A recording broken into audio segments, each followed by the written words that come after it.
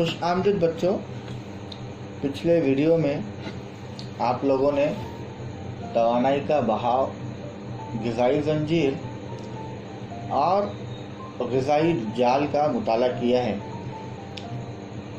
इस वीडियो में हम तवानाई का हरम की मालूमात हासिल करेंगे।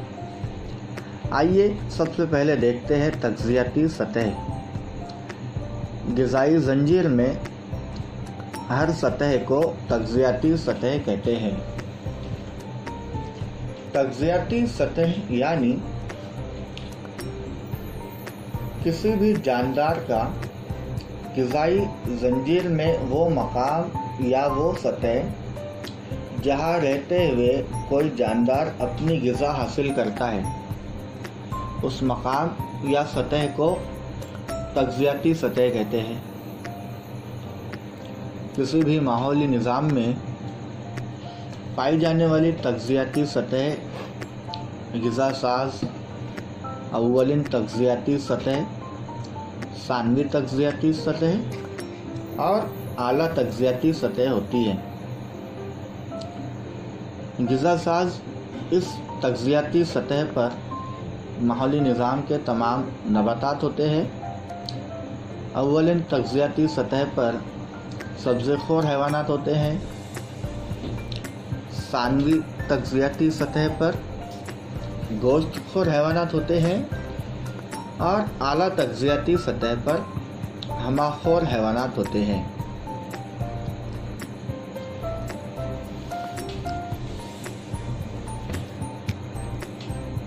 गज़ाई जंजीर में गज़ाई अज्जा और तवानाई जब एक सतह से दूसरी सतह में मुंतकिल होते हैं तो इस वक्त इन दोनों के तनासब में कमी वाक़ होती है।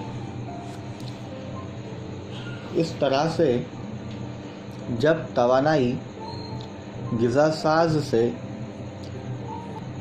अवलिन तजियाती सतह पर जाती है और फिर सानवी तजियाती सतह पर जाती है और इसके बाद जब आला तजियाती सतह पर जाती है तो इस दौरान तवानाई के तनासब में कमी वाक़ होती है। इसी को अगर हम किसी शक्ल के ज़ाहिर करें तो इस शक्ल को तवानाई का हरम कहते हैं। तवानाई का हरम एक मुसलसी शक्ल होती है,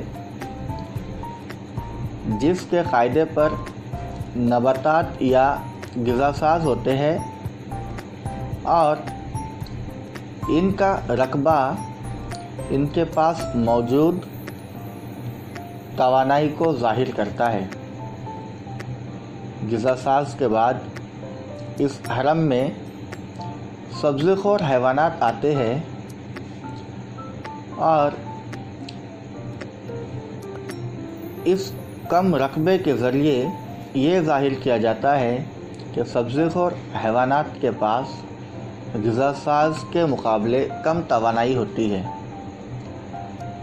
इसी सिलसिले को आगे बढ़ाते हुए अगर हम तजियाती सतहों की अगर हम आला तजियाती सतहों की तरफ़ जाते हैं तो उस वक्त हमें तवानाई के तनासब में कमी वाक़ होती हुई नज़र आती है। किसी भी माहौली निज़ाम को तोानाई सिर्फ़ और सिर्फ़ सूरज से हासिल होती है।